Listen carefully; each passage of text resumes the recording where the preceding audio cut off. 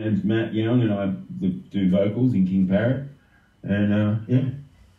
Yeah, there we go. Thanks for coming, mate. Great interview. I'll talk to you next time. Yeah, yeah, that was good, man. It's great to talk to you. How you doing today, brother? Uh, I'm all right, man. I'm all right. Uh, yeah, doing okay. How are you? Yeah, good, mate. Good.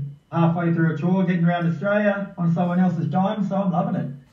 Man, what else? What, what more can you ask for?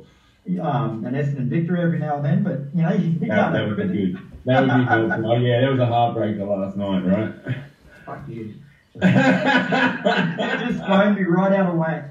sorry, bro. Sorry. Well, hey, I wasn't giving you shit. I was. It was a heartbreaker. It was an absolute heartbreaker. That was a backhanded, tongue-in-cheek. Fuck you. Thank you. No, it wasn't at all, man. It wasn't. I'm, I'm trying not to do that too much because I don't have much of a leg to stand on, considering I'm a Carlton supporter. So I'm just trying to be, you know, yeah. Anyway. Right. That, anyway, let's not talk about football, huh? We'll call that an honourable draw anyway, man.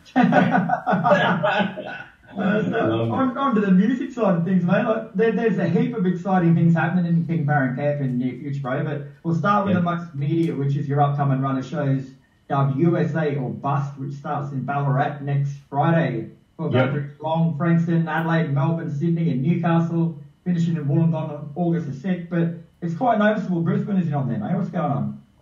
Uh, well, we just played in Brisbane not long ago. We uh, we played up there. Uh, I think it was in March. Or I think it was in March. we had that new, the new venue Bad Luck open, and um, and they uh, they got in touch and asked us if we can come and play that first week. So we uh, we did that. We did Brisbane and uh, and we did a show down at Moe's, which I think I saw you at. Um, yeah. And uh, yeah, so we did Brisbane recently. So we thought, oh, we'll sleep Brizzy after this one, and and we'll yeah, hey We'll be back soon enough, man. There's one thing for sure. We'll always we're always coming back, so won't be too long, man. Won't be too long. But um, but yeah, no, it's good to get out there and get get amongst it again, and and um, you know, trying to fire up the engines a little bit before we head off to the states in uh, at the end of August.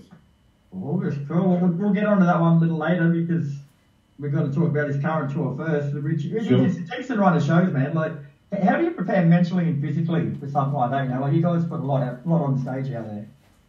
Um, well, you know, we, we, obviously we do a little bit of rehearsing and stuff like that, but I think, you know, just just think because we've been doing it for such a long time, you know, it kind of it's it's like it's just like jumping on the bike again. It's um, we often find, you know, that once we get back into the rehearsal room, like after we run run the set a few times, that we're kind of back into that mode me personally, though, I've been, you know, I've been really trying lately to um, get back into the fitness stuff and just doing a bit of running and stuff. I usually like to try and run 10Ks every couple of days. And I find that's like, goes for about as long as what the gig would go for. You know, it's like about an hour, running for about an hour. So I feel like if I can run for an hour, I can do a gig, you know. you guys look about as about as fit and physical as I do, though, bro. Like, I get exhausted sitting in the crowd watching you. Like, you do pretty well. Well, I, look, I've probably let myself go a little bit over the COVID stuff, and now I'm trying to trying to rein it in a little bit, and uh, and uh, you know, I've shaved my head again, so I was like, and that lost about ten kilos. That did well. someone said that you know, like with the beard and the long hair, you know, and then when you you know, like you shave it off, you kind of look you look like you're about ten years younger. So I was like, oh, well, I'll run with that then. Um, so that's that's another bonus. I need all the help I can get now at this point in life. Um, if you shave your ass and walk backwards, it takes another 10 years off you too. I'm just going to write, just and jot that down, and uh, we'll, we'll give that a try next week. Um, yeah, no, man, I've just been trying to get fit, you know. That's been my main thing, just trying to get fit again. We've got a lot of shows coming up, so it's going to be, I want, it, you know, it's uh, it's exciting and there's lots of stuff going on. So we've got to, uh, we've got to get ready. Get match fit, brother. And you That's get taken Chook with you for all but one of the shows, man. They got, they played with you a number of times. So what is it about them that makes them good touring partners for King Parrot? Uh, oh man, they're just like our little bros, you know. We, we love them. They're, they're like we, we love the way they go about it. We love their attitude. They're great dudes. They're good mates now. Um, you know, we they're just one of those. They just got a similar approach to to what they do as what we do, you know, and and um, you know, we, we, we always play with a lot of different bands. You know, we've always played with lots of different bands, not necessarily just grind bands or metal bands or, or, or, or whatnot. But when you kind of, you know, have that um, camaraderie with a, with a band, like and young dudes that are, you know, um, you know, I think with King Parrot, we're kind of like one of those bands that we're not, we, we're paying homage to the stuff that we love in our own way, you know. So it's it's not it's not you know we're not we're just doing what we do, you know. We're not trying to be this or that or go. We're doing what we do, and whatever comes of it will be what it is. You know, we're not going to sit there and go, oh, well, we need to kind of change our sound to be a little bit more like acceptable or top 40 or, or whatever. like, you know what I mean? We're never going to do that. We're not that sort of band. We're like, this is what we do, and we're just going to get better at doing what we do. Mm-hmm. for the same. They're, like the same kind of band, you know. Like they, they, they just want to hone their craft in this style and get better at what they do, and that's that's that's what we appreciate. You know, we we can recognise that and see it and understand that that's a thing, and that's what we want to do. So it's great. It's fucking. It's cool when you've got a band like that that just there's no compromise with the sound or the approach. You know, that's that's always what King Parrot's really held close to our hearts. There's no compromise. This is what we do. This is how we're gonna fucking do it, and we're just gonna get better at it. Yeah, I noticed you got uh, Nicolas Cage Fighter on for a few shows too. Like, how good are those fuckers? Oh, good man. Yeah, we've yeah. been playing with them. We've been playing with them for a long time now. Like, for at least maybe four or five years we've been doing some shows with them, and we've got a bit of a history with those guys because um, years ago, um, Matt, the drummer, um, came and rehearsed with us and was actually considering joining the band at one point. Um, he had he did a couple of rehearsals, and uh, and he was great, man. He's such a good drummer, that guy, and he came. We were about to go do some touring, and I think it was maybe just a bit much for him at that point in that time. And uh, you know, but he's a great guy, man, I, and I've got a lot of respect for him, and. Uh, he's also a Carlton supporter, so we often have fun. I'll take those two shows off the list. I won't be coming. Uh... I also uh, have a lot of uh, we we had a little bit of football banter from time to time, but he's um he's a great guy, great. Told me that next time I interview him, I'm going to hang up on him no, but hey, they're, they're, a great band, man. They are. Uh, best name, best band name in Australia I reckon. It's a yeah. yeah, I always, I keep, I still misspell it, but um, because uh, I, you know, they, they spell Nicholas sort of weird, but. Um, but uh, they're fucking awesome, man. They're great. I'm really happy for them and, and what they're doing with their band at the moment. You know, it's great. It's really good to see. And you've also got an all ages show in Frankston on July the 9th, mate. Like, you don't see many of those these days.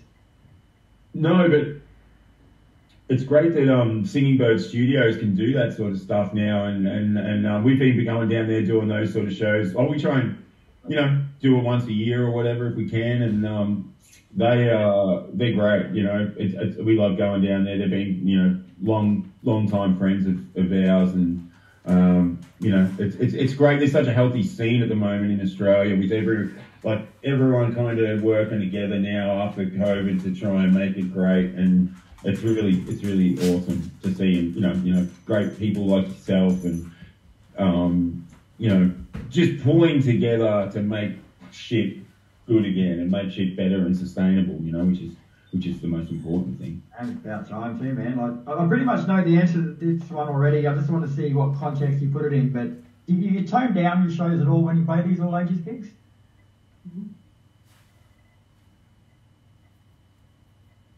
Are you froze? I thought you froze, man. I mean, fucking. I was trying to sound. I was. You were. You were. You know. Awesome, mate. Are you joking? Thank you, you know the. you know the answer. I do, but I like, not at all though. Like no, you don't put your pants up a bit higher or anything, or you fucking. oh man, we, I mean our our shows are just spontaneous, man. We don't really plan anything, or it, it just whatever happens happens kind of thing. And we, I just kind of find when we do the all ages shows, it's just a little bit more fun. Yeah. You know, it's a little bit less like I don't know it's, it's it's a little bit less. Uh, it just it just happens, you know. It just happens. There's kids jumping up on stage and wanting to stage dive for the first time and things like that. So it's it's super cool and fun, and you just try and and because they're so little, they just go flying through the it's so cool, man. It's so fun, and uh, but you know, you just find that it, it just takes care of itself. You know, we don't we don't think about it too much. You know, obviously, if we're playing it, you know, some you know club or, or, or whatever, and it's jam packed full of you know 20, 30, 40 year old men and women or whatever, it's going to be a whole different thing. You know, and they're all drunk and carrying on like idiots, so things are going to get loose. But you know, when there's like 10 year old kids and you know, kids, you know, teenagers and all of that. It's just it's just a bit of a different vibe. So it takes care of itself, you know. Like we don't have to think about that stuff too much. We just do what we do, and there's an ex- expectation of what a King Parrot show is going to be, and I think it always is that, you know. But um, yeah, so Do you still throw water bottles at them? Like, do you throw water bottles at the 10 year olds? oh yeah, Fuck 'em. it's only a bit of plastic. Like- Welcome to the real world, motherfucker. yeah, yeah, yeah, yeah. I just yeah, you know, it's all a bit of fun, you know. It is, man. It is. And of course, these shows are just an appetizer for what will be King Parrot's biggest and best shows yet, mate. When you travel to the States to play five shows with a little up and coming band called Pantera, as well Yeah. as that. God, mate, like, that's fucking awesome, but it sounds even better when you say it out loud. Like, how do you feel? Yeah, it's uh, it's pretty surreal, man. Like I, I'd never thought that that would be a possibility that we would get to play with Pantera. I mean, you know, we've probably been with Housecore Records with Phil's label for about eight or nine years. Well, we've been involved with them for you know nearly ten years, or in some capacity, and um, you know, we just became friends over the years. And and obviously, when this started, there was talk of this. And it was it, it's kind of been going on for a little bit, you know, because they've been playing the Pantera songs with the Illegals and doing all that stuff. They did that last Slayer tour Yeah. with the Illegals, and they, you know, they came and did like all the shows out here that we did with them. You or five know, Pantera songs there, didn't they? they did. Oh well, Yeah. yeah. When they played, they did a show at Frankie's um, in Sydney, which was ridiculous, and um, they did a whole Pantera set there. That's all they did. It was like eight or nine songs, which was incredible. Um, and you know, it just started to get momentum from there. When they were when they were first coming out to Australia to do that tour with us, it was just like Phil and the Illegals and King Parrot and Palm and uh, Potion played as well. And it was the impression was that it was just going to be the Illegals playing all their death metal sort of grind stuff, and you know that goes really well together with King Parrot, you know.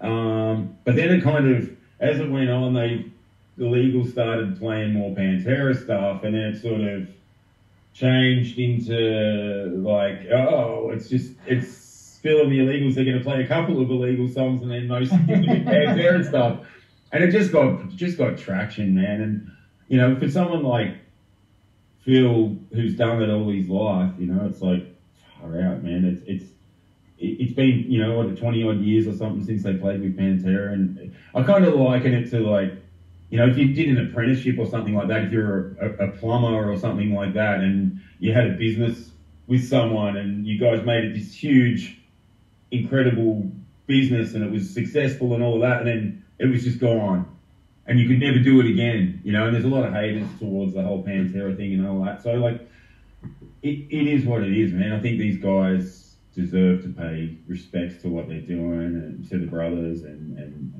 and, do it and give this whole generation of people the opportunity to see Pantera again. And I think once, you know, when you see some of the video footage and stuff, it feels like now like they've just been playing in Europe that they're really getting it together. It sounds incredible. And um, I think by the time it gets around to America, it's going to be like something something else, you know. Yeah. You got a bit of the inside goss, mate. Is it, what's the chances of it coming to Australia? Oh, look, it's going to happen. I've got no doubt. I don't know when or, or, or in what capacity, but it, of course it's going to happen. I know your lying face now, mate. no, I, honestly, I don't know anything about times or whatever. I mean, it, it would make sense Oh, that yeah. they would probably either do their own stadium like stuff, like they, they would play like you know some stadium shows, or they'll do like maybe download or something. I don't know, but I'm not sure. I don't know. Or Knotfest or whatever they're doing. Like, but in all honesty, I have no idea. Maybe they Um, can come out and support you in your home country, mate. That'd be fair. Yeah, we'll put them on at the tote or something. Hey. I I know you speak to Phil a fair bit, mate. Like, so now they've got out and played a few shows and they've been successful. Like, have the haters stopped at all? Like, now they see how good it is, or is it still still going? Oh, I think it's gonna. I think it's it's it's good to have haters, right? Yeah, mate. I'm, I'm, Oh, I, mean, I can only just go by the. I can only go by some of the stuff that you see online from time to time, and people are just like still doing it. So it's um, but you know, like it's it's it's just it is always going to be haters. You know, it's just it is what it is. But one of the good things I like is that they're just let the, the music do the talking, and the you know, this like obviously now is a different time to 20 years ago. So there's so much video footage, and there's so many people putting stuff online now, and you can just see that they're killing it. It's, like they're just doing such a great job of it. So, you know, for a little little old band like King Parrot to get the opportunity to go and play some some stadium shows with a band like Pantera, who are obviously an influence on us and, and on a whole generation of metalheads, you know, from when we were youngsters. You know, I mean, because there was nothing quite like when Pantera came out when when we were all kids, you know, and it was incredible. It was like it changed my life completely. It changed the trajectory of my life completely. Going to see Pantera at Festival Hall when I was like 14 was incredible. One of the most incredible experiences ever. You know. At the Far Beyond Driven show? Yeah, yeah. It was, Yeah, the energy was insane. Insane. Yeah, yes. Everyone was so excited and pumped and yeah. But look at, looking at the poster here now, mate. Like, how fucking good does it look to see the King Parrot logo underneath Pantera and the logo, right? Dead happy. I'm, arou- I'm aroused. Yeah. So is Cara. I never was that firm. it's cool. It's really cool, man. Like we're we're honoured, you know, and hopefully there's more, and hopefully it's, it all goes well, and yeah, it'll be good. So, have you had time amongst all that shit to, to do a new album? No, not You really. think you don't know. There's a lot going on. nah, we've, we're working on it. You know, we're just chipping away at it. You know, we've uh, we've had a bit going on lately, so we, we, we've, we've it's not like we're not working on it. We are working on it, but it's just um, we're just taking our time and just getting it done. And we're going to spend probably the rest of the year on the road. So Yeah. Come back, and come back with some, fresh ideas for new music, mate. The way to do it. Yeah, we'll, we'll, we'll, we'll get cracking on it as soon as we can. You know, it's like it's it's there's definitely demos and there's definitely bits and pieces going on, but um, yeah, it's uh, it's just been a bit challenging to, to find the time right at this moment. So yeah, Yeah, cool. In terms of something a little sadder, mate, like, um, I might have mentioned it out of respect to the guy, but commiserations for the loss of Boyd recently, man. Like, must have been hard to take. Yeah, it has been, man. Yeah, Boyd Boyd uh, Sennett, it was um, you know a super like he was you know one of my very closest friends and um, you know a big collaborator with uh, King Parrot. He uh, he did the artwork for our first EP and uh, everything, every other cover um, that we did apart from the bike head off one. He did everything else, but like you know, countless merch designs and poster designs, and you know, he collaborated on all the videos with us, every single one of them. Uh, he was in quite a few of them. He was in shit on the liver. He was the parking guy in shit on the liver, and you know, that's um, you know one of those things. It's it's been a shocking few weeks, months, um, trying to you know process going on creatively because he was such a big part of everything that we've done to this point. Um, to be able to sort of move ahead with plans and everything, you know, um, it's just been yeah really tough to try and get my head around that uh, recently. Um, you know, like before he passed, you know, he was planning on, you know, coming down here and we're going to go through all the demos and all the new songs that we've got and start, you know, demo and vocals and, you know, like just little things like that, you know. If we needed a tour poster, and uh, hey, what are you doing? Can you knock up a tour poster? And you, you do it in no time, you know. I'd have it that afternoon. Um, you know, things like that, man. It's just, it's just shocking. And, and, and on top of all that, man, he was, yeah, like I said, one of my very closest friends. So, um, yeah, it's been a really sad time for uh, for all of us in the band, but also all of his friends and family as well. And um, we had a, a send off for him this week, and, and it was um, it was incredible. It was um, it was like a and it was the, the place we had it. There must have been you know there would have been well over 500 people there, and um, you know it was like an art exhibition. All his art was all over the place. Like there must have been at least 50 works of his all over the place, and and um, our uh, the guy who does all the King Parrot videos, Dan Farmer, put together some amazing video tributes as well, and you know it was we tried to we tried to make the best of a really shit situation, you know, and um, you know we're all still grieving a bit. I am definitely, um, but uh, yeah, man, uh, it's a huge loss, and and um, he had a massive impact on all of us. So I guess you know to try and put a positive on that is that um, you know we get we're gonna everything we do now we can do it in his honor, you know, and and and pay respects to him and and you know, do it in, in his his memory. And, and he was such had such a great sense of humor and such a great uh, just he, just the way that he looked at the world. You know, the way that he he did stuff was incredible, and um and he's so prolific. So yeah, it's it's a big loss for us. Yeah. Yeah, I'm sure it is, bro. Well, on, on behalf of the whole Australian metal scene, mate, I'm sure they're all sending you their love for that, as well as congratulations on the Pantera show, mate. So go forth and kick ass and do Australia proud, my friend. Oh, we will, man. We will. We, we're ready to fucking. We're ready to hit the road again and go back to the states. It's been like four years or something. So since we've been over there, so it's like it's it's, it's time now, and um, you know we're gonna do yeah we'll do those five shows with Pantera, but we're also planning we're doing a week of shows I think with Weedeater too. We're just negotiating that at the moment, but all in all we're gonna do like 34 shows I think. Oh, wow. So. So like for a while then. Yeah, we're doing it like I think it's two days off. I think we're doing it in like five weeks, so we're just going to go for it. Yeah. Well, if you go through Nebraska, mate, I've got a few people there that owe me a couple of dinners, so let me know and I'll, I'll put you onto them. Man, we've had some great shows in Omaha, like in in Nebraska. It's been it's, it's great. We've had, we've done it a few times. I'm not sure if it's actually on the on the schedule, but um, Well, if it is and need a band, let me know, bro. Like, they'd, they'd kick ass with you, I reckon. So, Yeah, you're right on. And show you a bit of their own hometown hospitality. I love it, man. I love it. Thanks so much. No worries, all right. I'll catch up with you next week at some stage, man. Thanks for the chat and enjoy everything you're doing. There's so much, man. Good on you. Thanks, brother. Take care out there on the road, hey. I will do. Go Bombers. Yeah, righto. Whatever. Peace out, man.